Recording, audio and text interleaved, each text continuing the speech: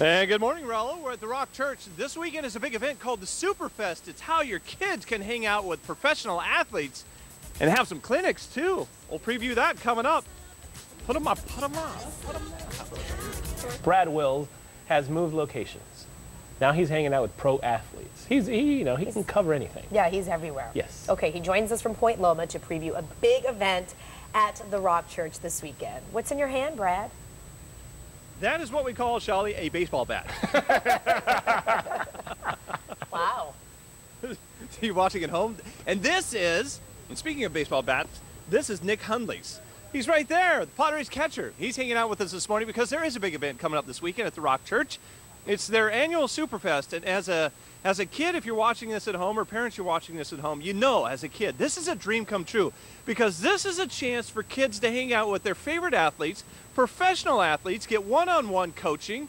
They have clinics going on. They've got a ton of stuff going on this weekend, but it's very important that they want to spread a message. The guy that's going to talk about what's going to happen this weekend is Marcus with the Rock Church. You got to tell me because, as I said a minute ago, if I was a kid and I was watching this is a dream come true to hang out with guys like this. You know, it, it is, Brad. It's a dream come true for me. I mean, it's a great event that's happening this Saturday at Point Loma.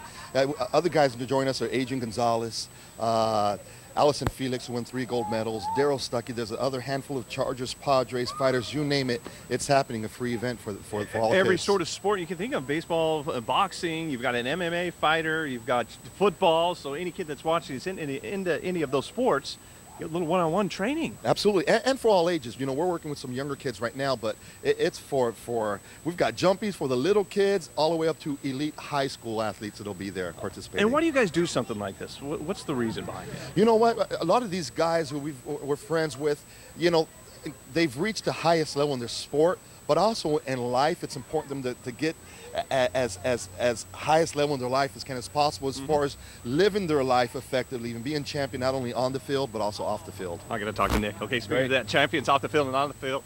Hey, Nick, what's happening, man? Oh, just hanging out the rock and You're going to be out. Yeah, fest. you're going to be out there this weekend at the Superfest. Yeah. What What do you take away from this, and what do you want to pass along to the kids? Oh, just how to every day uh, be involved and uh, and live and, and play like a champion every day, and uh, and come away from it knowing that uh, there's people that, that believe in you and back you and and uh, that are in the community for you. Did you ever have anything like this when you were a kid, where you got to go out and hang out with guys like you? You know, my dad was a college football coach, so I was fortunate enough to be around a lot of college athletes, but never professional athletes. Um, and uh, we used to go to games all the time and, and uh, want to be like them and, and wish we could be around them, but uh, we never were. So it's, it's amazing the opportunity now that, uh, that The Rock uh, gives us to, to go out and give back. That's pretty cool. So, what are you going to be doing with the kids this weekend? Oh, whatever. We're going to do some catching stuff. We're going to do some fly balls, some ground balls, and uh, we're going to sit down and talk to them a bunch. So it's, All right. a, it's a great, uh, great time. Good talking to you. Thanks for hanging out this morning. All right, we're going to go to another professional athlete right over here. Yeah, this is the guy right here. Yeah, put him up. Professional boxer Chris Byrd, uh, Olympian. You're going to be out here this weekend, so we went from the baseball to the boxing. You're going to show the kids what it takes, you know, to maybe to get in the ring and build some self. and way to, way to you know play on and I, I wouldn't For say you, court. I yeah. wouldn't say court. In the ring. ring. right. You know, for me, it was ring. But you know how to live outside the ring, how to live your life, a, a good, clean life. You know, we represent the Rock Church, so it's always good things. And uh, what did you? Uh, what were you when a kid? You, you obviously were boxing. What, what got you into boxing? My father. Your I'm, father I'm did. the youngest of eight kids, five boys, three girls. So, boxing was a household. I mean, was a household thing.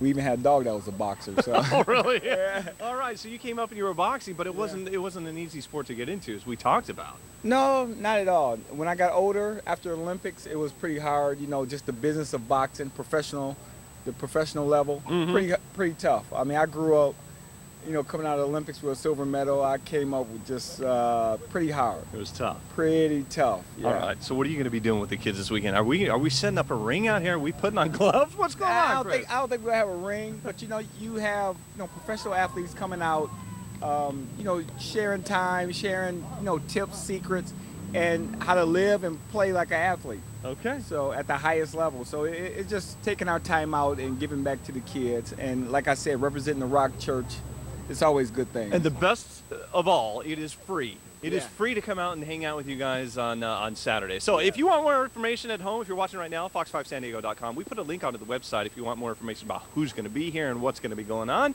Click on that Scene on tab, guys, with Rock Church in Point Loma. Wow.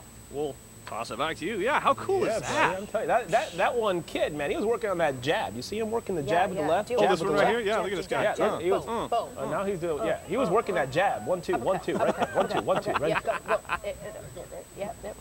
Look at him, serious. Yeah, yeah, Yeah, yeah. yeah. Kid, harder. Right, right. There you go, kid.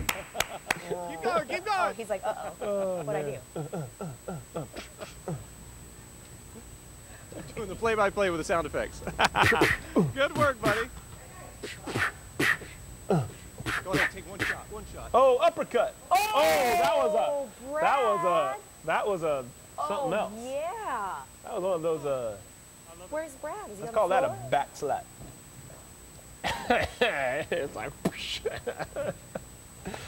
oh, that was enjoyable. 832. Thank you, Brad Wills.